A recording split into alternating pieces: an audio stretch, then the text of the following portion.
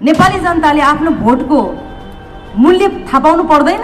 एउटै मान्छेले वर्षौँ वर्ष भोट दिइरहने एउटै मान्छेलाई जिताइरहने जहिले त्यही शेरबहादुर देवा जहिले ओली जहिले प्रचण्ड नै आइरहने हो भने अनि यहाँ बाहिर बसेर किन झगडा गरिरहने हामी? देश साँच्चै नै मगन्तेको देश भइसक्यो मगन्तेको देश बनाइसके यी नेताहरूले भन्ने जस्तो लाग्छ भने यो स्थानीय तहदेखिको स्थानीय तहको चुनावदेखि नै तपाईँ हामीलाई अग्नि परीक्षा सुरु भएको छ। नचाहिँदो सपना र आकाशमा उडाउन आउँदैन हामीलाई। हामी जुन कुरा व्यवहारमा उतार्न सक्छौँ त्यो मात्रै भन्छौँ। तपाईँ हाम्रो काँधमा टेकेर काँधमा बन्दुक राखेर राजनीति गरे यी नेताहरूले फलस्वरूप हामीले के पायौँ? निराश? यही निराश अनुहार बोकेर यही निराश मन बोकेर त्यसमा परिवर्तन आउँछ? एभ्री डे विदेशी नै बाध्य छन्। यही हो गणतन्त्र यही हो व्यवस्था। हिजो हिजोको हाम्रो इतिहासको निर्माताहरू तपाईँहरू पनि हो। हिजोको व्यवस्थामा के थियो? खोइ ती फ्याक्ट्रीहरू खोइ ती कल कारखानाहरू शेरबहादुर देउबा या प्रचण्डलाई मात्र गाली गर्ने होइन कमल थापालाई पनि गाली गर्नुपर्छ। उसले गाई बेचेको हो। आज कमल थापाको कारणले हाम्रो पार्टी जीर्ण भयो। राजनीतिलाई गरी खाने भाँडो नबनाउनुहोस्। नेपाली जनता जाग्ने बेला आएको छ। चेतनाले उठ्नुहोस्। नेतालाई मात्रै गाली नगर्नुहोस्। तपाईँहरूको अमूल्य भोट खेरा नफाल्नुहोस्। एकपल्ट राष्ट्रिय प्रजातन्त्र पार्टीलाई यो देशको सेवा गर्ने मौका जय राष्ट्र तपाईँ हेर्दै हुनुहुन्छ डिजे भाइस नेपाल राजनीतिको खेलमा खालि चार पाँचवटा अनुहार मात्रै अनुहारको फेरि फेरिमा राजनीति घुमेको छ तपाईँ हामी परबाट हेर्ने दर्शक बनेका छौँ अनि आरोप मात्रै लगाउँछौँ यिनीहरूले देश बनाएनन् यिनीहरूले देशलाई एकदमै नराम्रो अवस्थामा पुर्याएर भनेर एकपल्ट मैले यो भन्दा सायद म गलत सुनिन्छु होला तर मैले सत्य बोल्नुपर्छ किनभने म धर्म छोड्ने महिला होइन। म धर्मलाई साँच्ची राखेर के भन्छु भने के यो देश बिगार्नलाई नेताको मात्रै हात छ त? नेपाली जनताले आफ्नो भोटको मूल्य थाहा पाउनु पर्दैन। एउटै मान्छेले वर्षौँ वर्ष भोट दिइरहने एउटै मान्छेलाई जिताइरहने जहिले त्यही शेरबहादुर देवा जहिले ओली जहिले प्रचण्ड नै आइरहने हो भने अनि यहाँ बाहिर बसेर किन झगडा गरिरहने हामी? व्यवस्था ठिक भएन नेताले देश डुबाए नेता चोर आदि इत्यादि भन्नुपर्ने त्यसको दोषी को नेपाली जनताले पनि यो आत्मसमीक्षा गर्ने बेला आएको छ। सधैँ एउटै मान्छेलाई भन्ने बेला हामी युवा पुस्ता आएन युवाले देश चलाउन सकेनन् युवाहरू नयाँ अनुहारहरू राजनीतिमा आएन भनेर खुब भाषण गर्छौँ। ल नयाँ अनुहार आएका छन् नि यसपालि। राप्रपा नेपालको भविष्य बनेर आएको छ। यसपालि चुनौती छ। यसपालि जो मान्छेहरू निराश हुनुहुन्छ जति जनता निराश हुनुहुन्छ जसलाई आलोचना मात्रै गरिरहनु भएको छ ल एकपल्ट स्थानीय तहदेखि प्रदेशदेखि केन्द्रसम्मको चुनावमा हामी पनि यसपालि हेर्छौँ। नेपाली जनता साँच्चै नै अब सबक सिकि सिकिसक्नु भएको छ अथवा त्यो आत्मसमीक्षा गरिसक्नु भएको छ।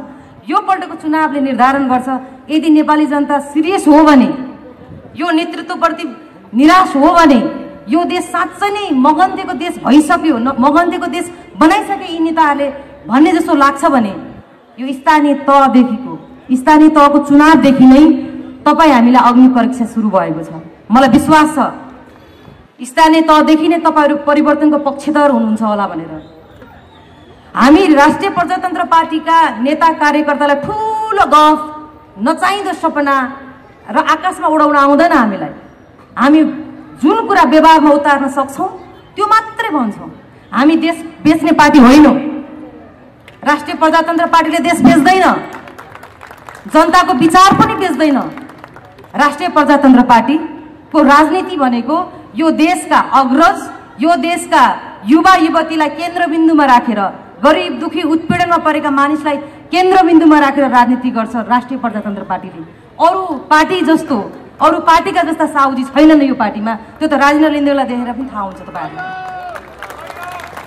र अर्को बिन्ती के गर्न चाहन्छु भने तपाईँ हाम्रो काँधमा टेकेर काँधमा बन्दुक राखेर राजनीति गरे यी नेताहरूले। फलस्वरूप हामीले के पायौँ? निराश? यही निराश अनुहार बोकेर यही निराश मन बोकेर देशमा परिवर्तन आउँछ? म त अझै पनि मेरो अभियानमा यो हाम्रो रा- हाम्रो पार्टीको अभियानमा म सम्पूर्ण नेपाली दाजुभाइ दिदीबहिनी मेरो अधिकार छ। म बच्चैदेखि सोह्र वर्षको उमेरदेखि तपाईँहरूको छत्रछायामा हुर्केको केटी हुँ म मलाई पूर्ण रूपमा अधिकार छ। अहिले मैले जनता भन्नुला तर तपाईँहरू मेरो जनता होइन। मेरो अभिभावक हो मेरो बाबुआमा मेरो दाजुभाइ मेरो दिदीबहिनी हो। यो देशमा आज गणतन्त्रले ल्याएको व्यवस्था सम्पूर्ण छोरी चेलीहरू जुन अहिले हिंसा हत्या बलात्कारको केसमा परिरहनु भएको छ यही हो परिवर्तन यही हो गणतन्त्र। मेरा दाजुभाइहरू एभ्री डे विदेशिने बाध्य छन्। यही हो गणतन्त्र यही हो व्यवस्था। हिजो हिजोको हाम्रो इतिहासको निर्माताहरू तपाईँहरू पनि हो। हिजोको व्यवस्थामा के थियो? खोइ ती फ्याक्ट्रीहरू खोइ ती कल कारखानाहरू त्यतिखेर एउटा मेचीमा एउटा मान्छे मऱ्यो भने महाकालीमा हङ्गामा हुन्थ्यो। अहिले एभ्री डे मान्छेको हत्या भइरहेछ हिंसा भइरहेछ। यही हो नयाँ नेपाल यही हो गणतन्त्र। यस्तो व्यवस्थालाई स्वीकार गरेर बस्ने अझै पनि हामी मूर्ख बन्ने अझै पनि हामी दमित बन्ने अझै पनि हामी बन्दी बनिरहने। कहिलेसम्म बन्दी बन्ने? हिजो हो।